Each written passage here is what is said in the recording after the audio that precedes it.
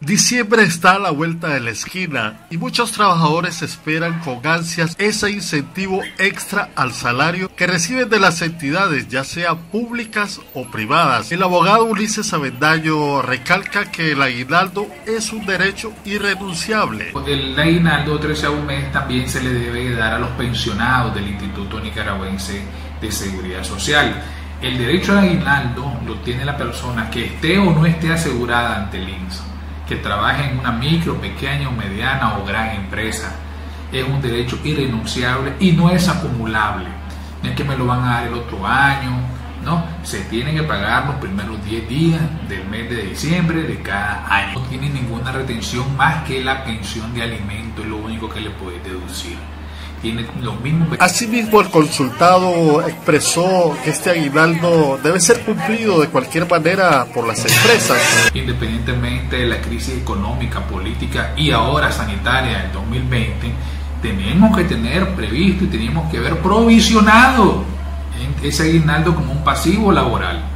Entonces teníamos que haberlo acumulado en una cuenta, preferiblemente parte, pero si no entró en nuestras mismas cuentas como un ahorro, porque sabemos que lo tenemos que pagar. Si no tenemos la plata, hay dos opciones, entre tantas. La primera puede ser de que liquidemos mercadería que tengamos, busquemos cómo los clientes nos paguen facturas por adelantado, cómo cobrar y pagar esos aguinaldos. Si tenemos ahí una mercadería, liquidémosla para poderle pagar a nuestros trabajadores. Ah, no tenemos la mercadería, pero sí tenemos una línea de crédito. Hay financiera, está prestando a las pymes para aguinaldos, para poder pagar aguinaldo y después vos lo vas pagando en el año.